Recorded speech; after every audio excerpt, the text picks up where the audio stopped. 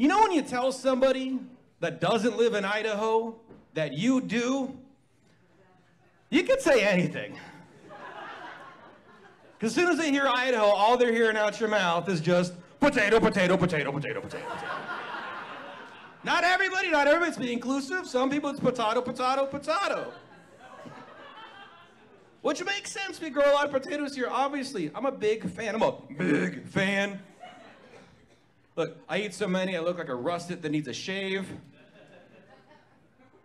Hey, I did research for that joke. I did. I Googled what's the fattest potato. I did. And what came up was a, a picture of a russet. But so did my headshot.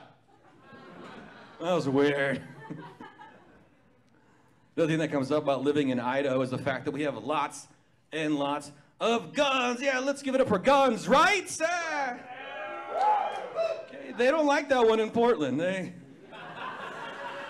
silence.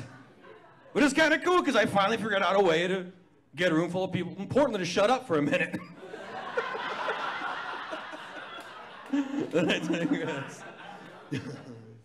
And while I don't have any problem with them, I don't personally own any guns, and I've got friends here, uh, friends in Portland think that's very reasonable. Buddies here in Idaho think that that makes me the crazy one. Did that at a show in Boise a couple weeks ago. This dude shouted out, "It does!" That's who I'm calling when shit goes down, man. I don't own any guns. I got a buddy. He's like, "Hey, Nigo, I can't believe you don't own any guns. I got 17. You should get some guns." And I'm like, "Look, Kyle, you got 17 guns. I don't need any. It's called herd immunity. no mess with Idaho, man. But I did compromise. I did compromise when I moved here to Idaho, and I got myself a potato gun. Yeah, so far we got to stand my ground. it's gonna be with freshly ground rosemary and delicious carbs.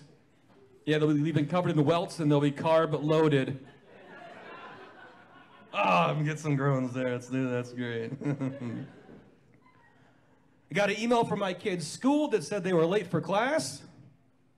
Thought that was a little strange because at the time, they went to school on Zoom. It's like, how are you late to the place where you wake up? It's called sleeping in. They are going back to the in-person school now, though. They're doing in-person. I'm pretty glad about that because it's weird doing the online school that the teachers had this expectation that the parents were supposed to help with their kids' education. like, dude, I pay good tax dollars to the state of Idaho. I'm supposed to be able to just drop them off in the morning, pick them up later, have them come back just slightly less stupid. That's supposed to be the deal. Bar's not very high.